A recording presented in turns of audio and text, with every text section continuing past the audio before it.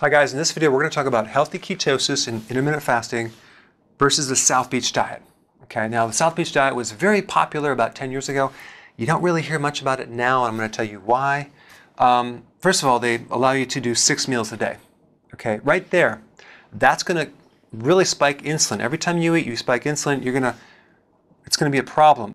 But the reason why you're going to lose weight in phase one is because you're going to avoid the refined carbs, your fruit, and beans. Okay, so you're dropping your carbs you're going to lose weight. And if people are used to junk and go to this, it's like, wow, I lost all this weight. Of course, they're going to recommend lean proteins just like so many other diets.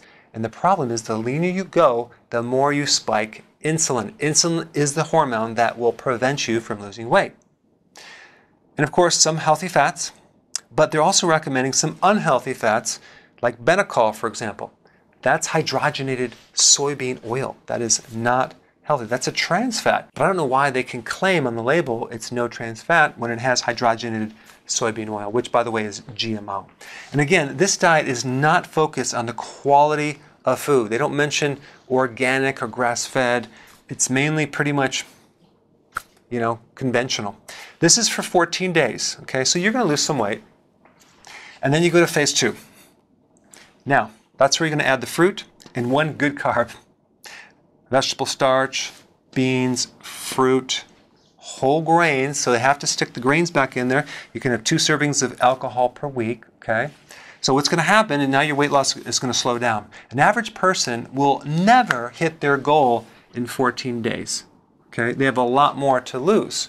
So you're going to go from here to here, and now the weight loss is going to slow down, all right? And probably stop completely. And you're going to probably go off the program and never go back on it.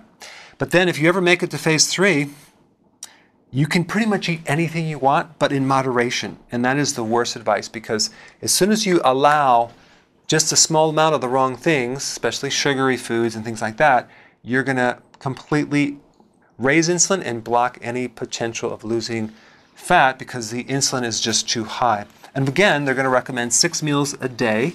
Let's keep that insulin spiked.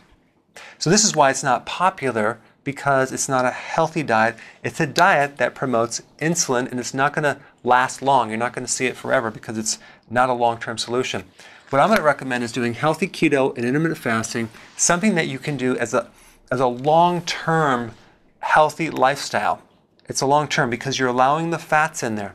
What we're not allowing is the frequency of eating. So where you're eating less, you can really heal insulin resistance. You can lower insulin and that diet allows you to consume more fat. So you're really satisfied, so you have no hunger, no cravings. And anytime you have that, you can do it long term. It's not that you're starving when you're doing intermittent fasting, you're basically living off your own fat. So intermittent fasting is not starving. You're actually eating something, but you're eating your own fat. So the meal that you're eating is your own body reserve. Okay, so that's that's a way to go. If you stick in this diet, you'll never do it long enough to fix insulin resistance, so you're always running on sugar. So the blood sugar drops. Now you're going to be hungry. You're going to eat, and then because it's low-fat protein, you're going to actually, it's going to, you're going to feel better when you eat, but it's going to drop again. Now you're hungry again, and you never really hit your goal. Okay, so I'm going to put a link down below. If you want to learn more about this, uh, you can check it out. Thanks for watching. Hey, tell me what you think about this video. Go ahead and comment below and give me your feedback.